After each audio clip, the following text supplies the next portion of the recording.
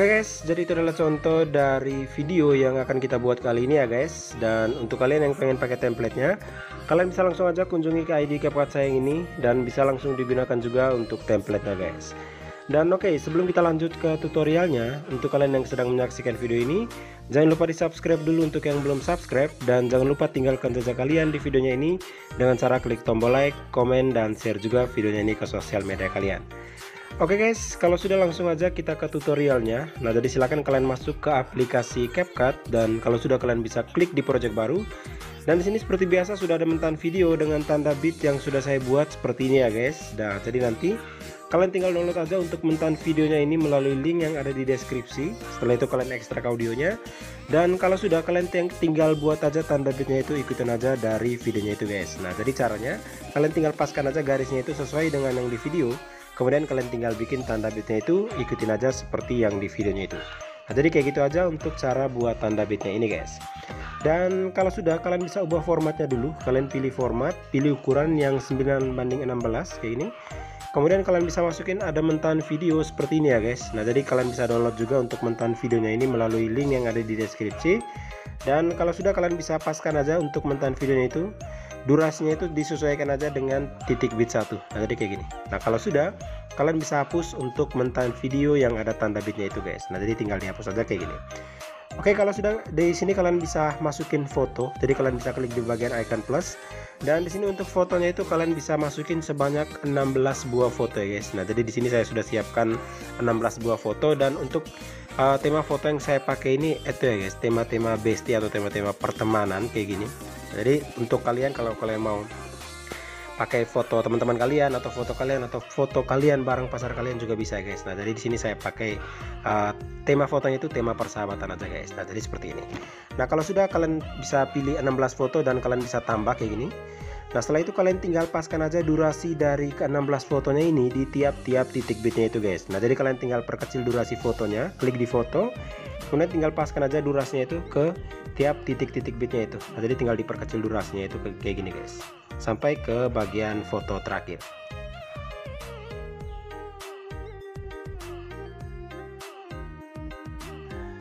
Oke, jadi sampai di bagian sini ya guys. Dan untuk yang di bagian akhir sini, itu kalian tinggal tambahkan aja background putih.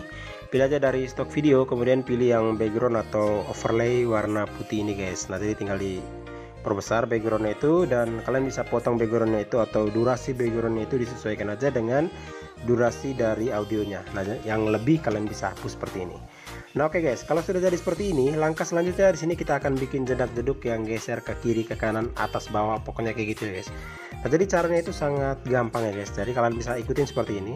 Dan kalian bisa buat sampai ke bagian akhir karena di sini saya mungkin hanya dijelaskan di beberapa foto aja. Yang bagian lainnya itu mungkin kalian sudah paham kalian tinggal buat aja sendiri guys. Nah jadi kita mulai dari foto yang pertama. Kalian bisa lihat ini kan foto yang pertama kalian bisa tambahkan keyframe ya guys di bagian awal dari foto yang pertama ini. Kalian klik dulu di fotonya di bagian awalnya itu. Kalian klik. Kemudian kalian tambahkan keyframe. Kemudian kalian geser garisnya itu ke tengah ke bagian tengah sini. Kalian paskan ke tengah kalian tambahkan keyframe sambil fotonya itu kalian agak ngezoom ke depan seperti ini guys. Nah jadi seperti itu. Kemudian di bagian selanjutnya di bagian yang ini kalian tambahkan keyframe. Kalian bisa geser fotonya itu ke kiri ataupun ke kanan guys. Nah jadi di sini kita geser aja ke kanan fotonya. Nah kita geser tapi harus pas ke tengah seperti ini. Nah, nanti hasilnya itu kan jadi seperti ini. Oke, dan kalau sudah di sini kalian bisa tambahkan grafik di antara keyframe yang tengah ini. Kita mulai dari yang bagian kiri ini kalian bisa pilih grafik. Untuk yang di bagian kiri grafiknya kalian pakai yang keluar satu. Kemudian yang di bagian kanan kalian pakai grafik yang masuk satu guys. Nah jadi itu biar hasilnya itu jadi lebih halus ya guys. Kalian bisa perhatikan seperti ini Nah, kan kayak gitu. Dan di sini saya sarankan untuk foto yang kalian gunakan itu harus sudah berukuran 9 banding 16 ya, guys. Nah, jadi biar nanti kalau misalkan kalian edit itu fotonya itu langsung pas ke layar aja, guys, atau pas dengan format layar yang sudah kita ubah.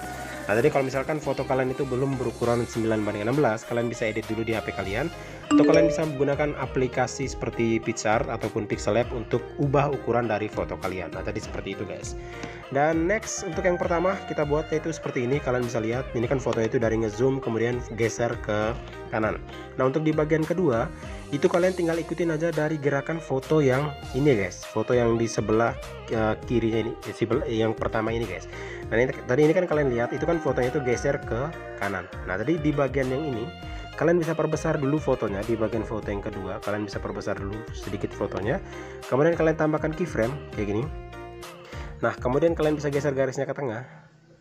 Kayak gini ya guys. Kalian bisa geser lagi fotonya itu ke kanan.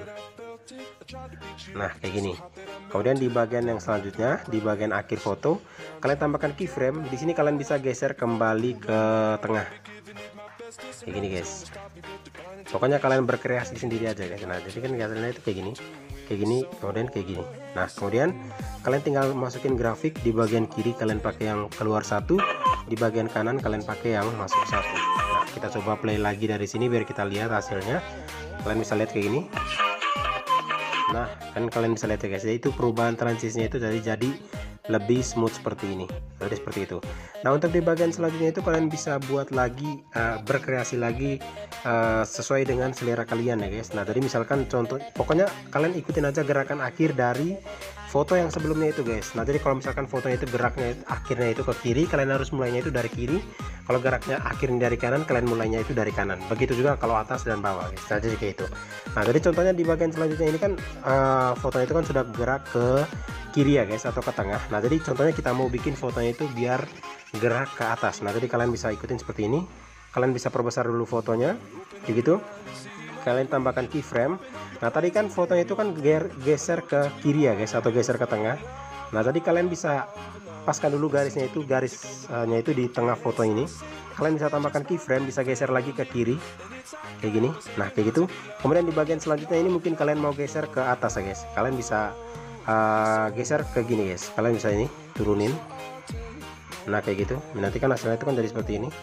Nah nah kayak gitu guys. Atau kalian bisa agak ngezoom biar agak itu ya guys animasinya agak keluar nah kayak gini. Nah kalau sudah tinggal kalian mainin untuk grafiknya atau tambahkan untuk grafiknya. Pilih yang keluar satu dan masuk satu guys. Nah kita coba lihat lagi dari bagian sini. Nah kalian bisa lihat seperti itu ya guys. Untuk gerakan fotonya itu akan seperti itu nah untuk di bagian selanjutnya tinggal kalian mulai lagi.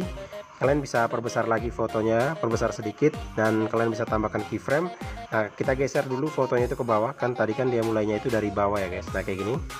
Nah nah ini. Kalian bisa geser fotonya itu ke atas di bagian tengah. Tambahkan keyframe geser fotonya ke atas. Lepas ke tengah kayak gitu.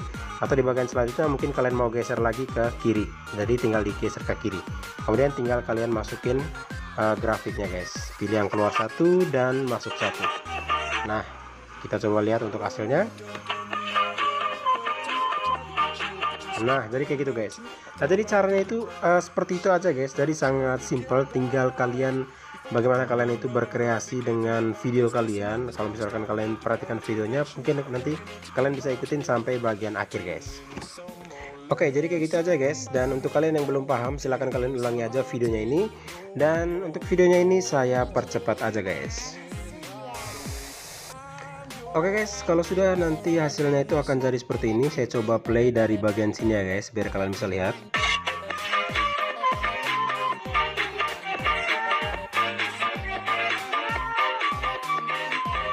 Oke, jadi kira-kira seperti itu untuk hasilnya. Dan langkah selanjutnya di sini kalian bisa tambahkan efek ya guys. Kita pilih efek dulu.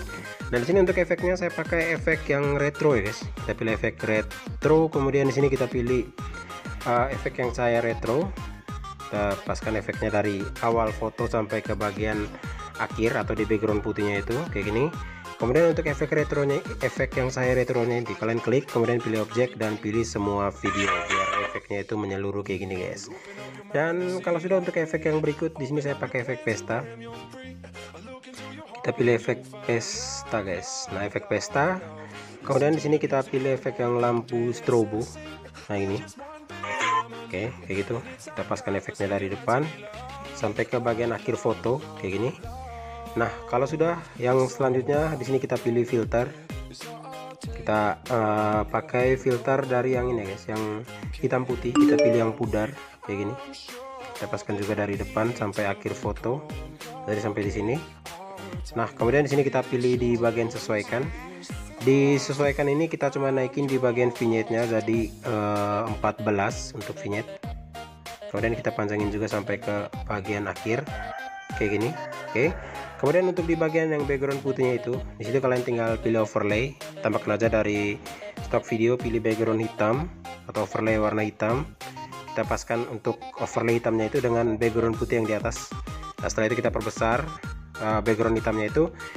Kemudian kita pilih animasi yang masuk untuk di background hitamnya itu dan pilih yang pudar masuk guys. Dan untuk durasi animasinya itu jangan lupa di fullkan sampai full kayak gini Oke guys, kalau sudah untuk hasilnya itu akan jadi seperti ini. Saya coba play dari bagian awal biar kalian bisa lihat untuk hasil keseluruhan dari editan kita kali ini guys.